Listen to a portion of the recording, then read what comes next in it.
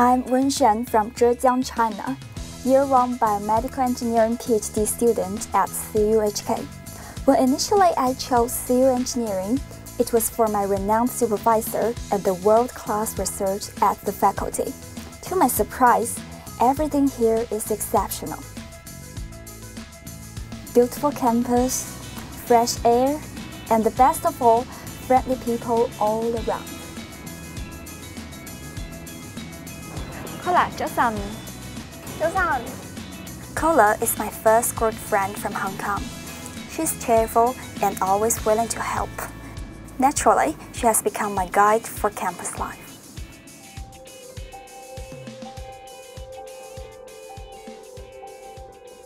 Ivan is another supportive local friend. I feel reassured whenever I'm with him. Morning, class. At CU Engineering, I interact with classmates and professors from all over the world. Yes, Chris. Uh, what is a symmetric boundary condition? My English level has improved, which opens up opportunities for me in the international arena of engineering. Professor Choi. Hello, Wenxuan. Hi. Can you explain how the math works out for a semi-infinite system? Uh, that's a great question. Why don't we talk about this as we walk, okay? Our professors are always ready to help. I never have to worry that they find my questions stupid. Everyone loves Dean CP Wong, who has been honored by the IEEE as Father of Modern Semiconductor Packaging. Today, he introduced some alumni to us. Seeing these outstanding alumni from both the industry and the academia, I feel confident about my career prospects. Some people say that PhD studies can be tough. Here at CU Engineering, I do not feel alone. In fact, the faculty provides abundant resources for my experiments, and my schoolmates are all very helpful. Even though we are working on different topics, we learn from and motivate each other. Of course, my supervisor has also given me a lot of support and inspiration.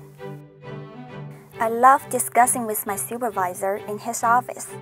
He gives me much freedom in choosing the research topics that I like and encourages me to think deeply.